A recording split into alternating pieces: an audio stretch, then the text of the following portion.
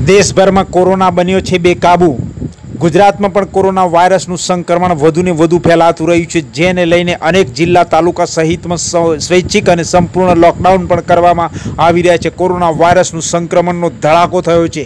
સાબરકાંઠા જિલ્લા સહિતના તાલુકામાં પણ અચાનક કોરોના વાયરસનું સંક્રમણ વધ્યું છે, જેને લઈને લોકડાઉન કરવાનો નિર્ણય લેવામાં આવી રહ્યો છે. આવા સંજોગોમાં ખેડબ્રહ્મા ખાતે પણ કોરોના કેસમાં ધરખમ વધારો થયો છે અને ધરખમ વધારો નોંધાતા સંપૂર્ણ લોકડાઉન કરવાનો વારો આવ્યો છે.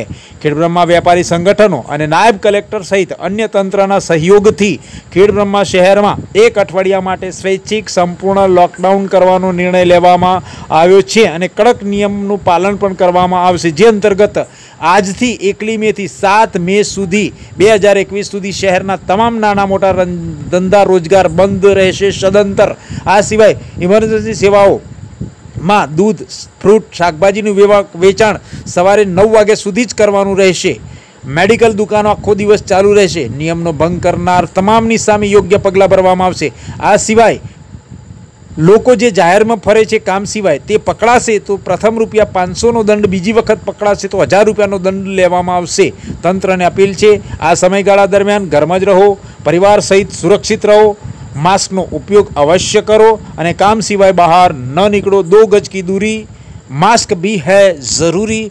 પોતાના પરિવારને સુરક્ષિત રાખો અને પોતાના રાજ્ય અને દેશને અને તાલુકાને પણ સુરક્ષિત રાખવા અને કોરોના સંક્રમણની જે સાંકળ છે તેને તોડવા માટે સંપૂર્ણ સ્વૈચ્છિક લોકડાઉન કરવામાં આવ્યું છે. તેનો અમલ કરવામાં આવે તેવી અપીલ પણ કરવામાં આવી હતી.